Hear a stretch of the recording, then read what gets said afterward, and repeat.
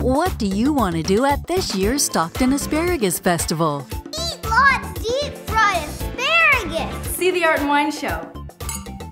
Eat asparagus ice cream. Turn! We're gonna watch Tyson. That dog's so cool. Watch Restless Heart.